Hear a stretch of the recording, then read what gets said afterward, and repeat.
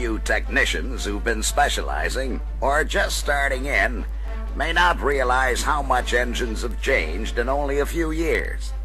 Frank, an automatic transmission expert, is asking Joe to bring him up to date. Let's listen in.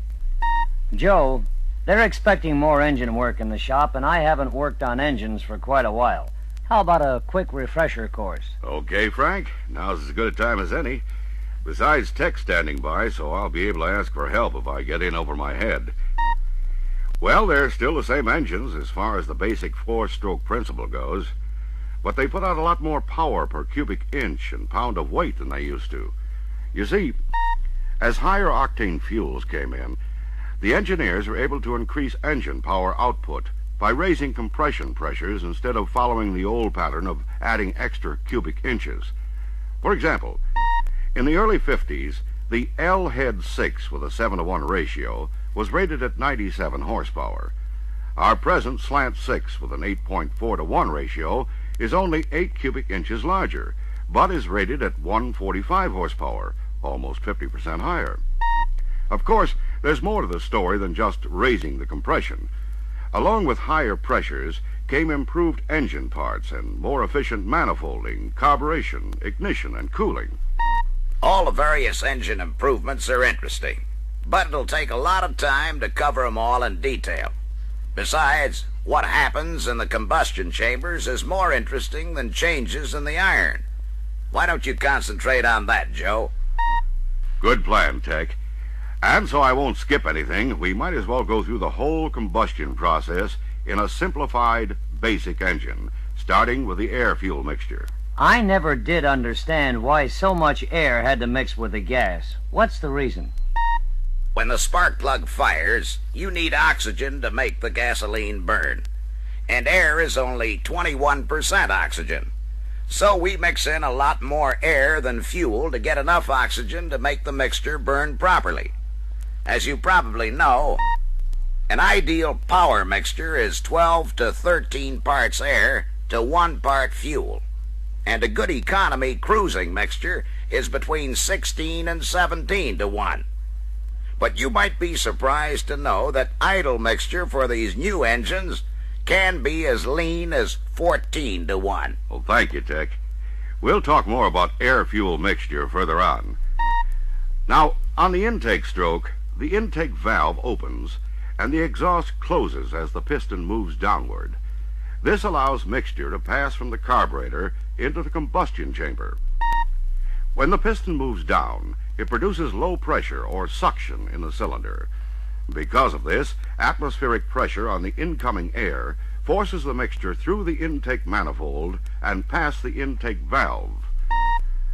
The manifold passage is made large and direct so there'll be low restriction to flow. This serves to pass in as much mixture as possible in the short time the intake valve is open on the intake stroke. And if you're wondering why the intake valve is larger than the exhaust, it's because the intake mixture is under relatively low atmospheric pressure coming in. Exhaust gas is forced out by the upcoming piston and high gas pressure, so it doesn't need as big a hole to escape. Good points, Tech. Now, on the compression stroke, the intake and exhaust valves are closed as the piston moves upward. This traps the mixture charge so it can be compressed by the piston. And the more you compress the mixture, the more push you get in return when the power is released. Next, ignition occurs as the piston nears the top of the stroke. The spark plug fires and the charge starts burning, beginning at the spark plug electrodes. Normally, the flame spreads out evenly from the spark plug electrodes to all parts of the chamber. The charge burns quickly but does not explode. You see, if there's an explosion, instead of even burning when the spark plug fires, it produces full pressure instantly near the top of the stroke. This fast pressure buildup wastes power and can cause serious damage to engine parts. On the power stroke, we want the mixture to burn gradually so the expansion of the combustion gases will force the piston down with steady pressure the full length of the stroke. In other words, we want progressive burning rather than instant combustion. Now, why don't you cover combustion in more detail for the newer fellas? Okay, Tech. The main things to keep in mind are the facts that high temperature ignites the mixture, and this ignition can happen in several ways. We normally get this high temperature ignition from the spark because we want the mixture to start burning at a specific degree of crankshaft rotation. This properly timed ignition will produce the most effective combustion forces during the right part of the power stroke. As the burning progresses, the expanding gases raise the pressure and temperature of the remaining unburned mixture at the far sides of the combustion chamber. However, under some conditions, combustion chamber pressure and temperature can get high enough to explode the unburned mixture. This is the cause of what we call detonation knock, as well as the power loss and parts damage I mentioned earlier. Now, in normal combustion, if the fuel octane is correct for the engine compression ratio and all other conditions are normal, the anti-knock compounds in the fuel reduce the tendency of high pressure and temperature to explode the mixture. However, even with the correct octane fuel, detonation knock can result from advancing the ignition timing setting too far, from engine overheating, from high intake air temperature, or from a mixture too lean for heavy loads. And that covers intake, compression, and power strokes. So the exhaust stroke is next. Here the intake valve remains closed and the exhaust valve opens, so the upcoming piston can force the burned gases out past the exhaust valve into the exhaust outlet system. Before you go any farther, Joe, what's the story on valve overlap? I simplified valve operation for the four-stroke cycle explanation. Actually, the valves stay open a lot longer to allow more time for the mixture and gases to get in and out of the combustion chamber.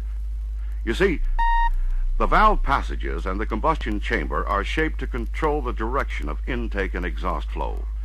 This permits both valves to be opened longer without seriously contaminating incoming mixture with outgoing exhaust gas. So much for basic principles. Now, why don't you tell us how mixture and timing are affected by different engine operating conditions? All right, Tech. We'll keep it simple by first talking about mixture and timing changes separately, and then we'll cover their combined effects. Reduced to the simplest terms, too rich a mixture wastes fuel.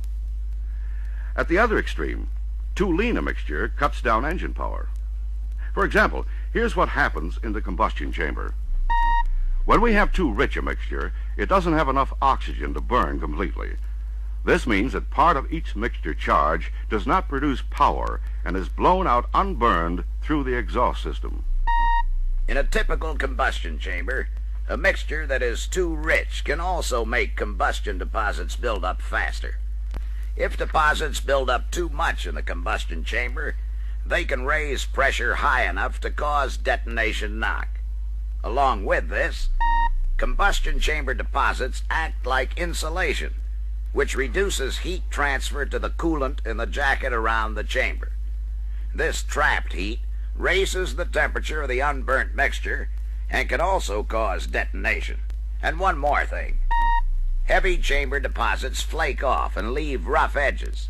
The edges get red hot during combustion and can stay hot long enough to ignite the incoming mixture. This uncontrolled ignition is the cause of what we call pre-ignition knock. In the opposite direction, when we have a lean mixture, as we do with light engine loads, there's less gasoline to burn and produce expanding combustion gases, so it develops less power. Well, that takes care of the basic effects of mixture changes. Now, as you might expect, ignition timing variation also changes things. For example, when the spark plug fires before the piston reaches the top of the compression stroke, we say the timing is early or advanced. In other words, combustion starts to produce gas pressure while the piston is still moving up on the compression stroke. But since the mixture takes some time to burn, we ignite it early to get more complete combustion. Uh, hold the ignition, Joe. We won't be able to keep this session's combustion going if someone doesn't turn the record over to the other side. In actual operation, the amount of timing advance needed is affected by mixture, engine temperature, engine speed, and engine load. But in general, if the timings advance too far, we'll have hard starting and detonation problems. When we have over-advanced timing, the spark plugs run hotter than normal. This causes fast electrode wear, and there'll probably be trouble with porcelains cracking or chipping at the firing tip. Thanks, Dick. Now, with most of today's engines, the timing for different loads and speeds is in varying degrees of advance before the piston reaches top dead center. However, if the initial timing is incorrectly set in retard position, ignition occurs after the piston passes top center. Here, the ignition spark is late for all engine speeds and loads. If the timing is retarded too far, the mixture burning continues as the piston moves downward. And even though the mixture charge burns completely, the combustion gases cannot expand fully by the end of the power stroke, so power is lost. In addition to this, retarded timing also causes the engine to run hotter because more of the cylinder wall, as well as the combustion chamber, is exposed to the burning mixture. Retarded combustion also raises exhaust temperatures. I'm with you on the general idea of mixture and timing changes, but I'm a bit hazy on the reasons why they change for different engine operating conditions. Okay, Frank. Let's begin with starting a cold engine. First of all, cold gasoline doesn't vaporize easily or mix evenly. This tends to make the mixture spotty, so parts of the combustion charge do not have enough fuel to ignite. And to complicate things, Fuel vaporizing and mixing is further retarded because the carburetor, intake manifold, combustion chambers, and incoming air are also cold. So, to make cold starting easier, we use the carburetor choke valve to enrich the mixture. In effect, we temporarily add extra gasoline to compensate for reduced vaporization and poor distribution of the fuel.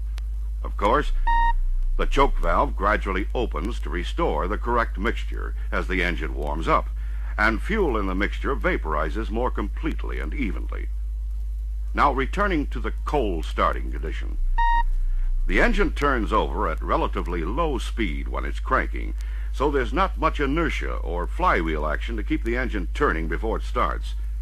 For this reason, we begin with a minimum amount of timing advance, so the early combustion pressure will not oppose the upcoming piston. This reduces engine cranking resistance and makes starting easier. I know the distributor has vacuum and centrifugal advance controls. What's the reason for two of them? Basically, the vacuum unit's controlled by carburetor throttle opening, so it affects fuel economy. The centrifugal unit follows engine speed and affects power output. The two timing controls work separately. At cranking speed, there's not enough carburetor vacuum to cause vacuum unit movement, and there's no centrifugal advance, so the startup timing stays at the minimum advance position. But at curb idle, with the engine warmed up, the compression pressure is low, but the choke is now open, so we have a relatively lean mixture. This and slight dilution of the mixture by any exhaust gas left in the chamber slows down combustion. In this case, the throttle is at idle position, and carburetor vacuum is relatively weak, so the vacuum unit does not advance. And because the engine is running at idle, the centrifugal unit has no effect, so the ignition timing remains at the basic initial setting. Now, at low engine speed with light or road load, we also have relatively low compression pressure and a lean mixture. This combination slows down combustion, so both vacuum and centrifugal timing advance are needed to produce smooth power. On the other hand, where we have low engine speed but full load, the mixture is relatively rich. The combustion is faster and less timing advance is needed. Here the throttle is open, so there's no vacuum advance, but the centrifugal unit follows engine speed. At the other end of the range, where we have high engine speed at road load, the mixture leans out. The throttle is open part way, so there's some vacuum advance. And because the centrifugal unit follows engine speed, there's a proportional amount of centrifugal advance. However, at high engine speed with full load, the mixture becomes rich, so combustion is faster. Here, the open throttle keeps the vacuum advance at zero, and the centrifugal unit produces the proper advance for the speeded up combustion. How about acceleration? What happens there? If you floorboard the pedal, the throttle opens wide and lets in a lot of air. The main jets in the carburetor can't keep up with all the changes that take place, so the mixture tends to go lean. But before the engine stumbles, you get help from the carburetor acceleration and power systems to compensate for the temporary lean condition, and the engine speeds up smoothly. When you load the engine like this, the acceleration speed increase raises compression pressure, which makes the mixture charge burn faster. Now, this calls for less timing advance. The open throttle lowers manifold vacuum, and the vacuum advance is reduced, but the centrifugal unit advances. Another thing to remember is that full throttle acceleration raises compression to its highest pressure. This concentrates the mixture density, so the charge is harder to ignite. This means the ignition system must be in top-notch condition to prevent power loss through misfiring. Does anything special happen when you decelerate? The power situation reverses because in deceleration, the drive line turns the engine instead of the other way around. This motoring effect is not as great in cars with automatic transmissions when they are in drive range. Now, when you let up on the pedal, the throttle valve closes and the carburetor delivers only what the idle system can supply. However, since the engine is turning faster than idle speed, there's not enough mixture drawn in to ignite easily. While this is going on, there's no vacuum advance, but the centrifugal unit still follows engine speed. This does not keep the timing on deceleration advanced enough for complete combustion, so part of the mixture passes out of the exhaust unburned. Incomplete combustion on deceleration doesn't affect fuel economy too seriously. But all master technicians will soon be servicing cars designed to reduce the emission of unburnt mixture. Right. All of our 68 U.S. models and some Canadian models will have the CAP system, which will improve deceleration combustion with a leaner mixture and additional timing advance. And curb idle combustion will be better also because we'll have leaner idling mixtures and idle timing will be in retard position to get more complete burning. Now, why don't you give us a fast review on the mixture and timing at different load and speed conditions, Joe? Okay, I'll take 'em off for you in short form. First, with low engine speed and road load, the mixture is lean, so the combustion is slower. Vacuum advance is at or near maximum, and the centrifugal unit is at about one-half full advance. Next, with low speed and full load, the mixture is rich and combustion is faster than at idle. There's no vacuum advance, and here again, the centrifugal unit is at about one-half full advance. Now, moving up to high speed at road load, the mixture is lean and combustion is faster as a result of high engine speed. In this case, there's some vacuum advance, and the centrifugal unit is near the full advance point. Finally, still at high speed, but with full load, the mixture is rich and combustion is faster than at low speeds. Here we have no vacuum advance, and the centrifugal unit is near the full advance position. Now, as a final point, we should all recognize the fact that our older engines were not as sensitive to variations in fuel mixture and ignition timing. You could be off a little on your adjustments without causing serious trouble. But that's all in the past. In other words, we really have to toe the line on settings and adjustments with these newer engines. Right. Precision adjustment is the only way to go when you service today's engines, especially those with a cap system. You'll have to stick to the specs all the way. And that brings us to the end of this story on today's engines. As usual, you'll find additional information on the subject in your reference books. And now, more than ever, pay close attention to the specs and instructions in your service manuals. The next session will pick up where this one ends to give you the inside story on exhaust emission control. You'll be servicing these systems all over the country, so be sure to attend the meeting to find out what it's all about. See you all next month.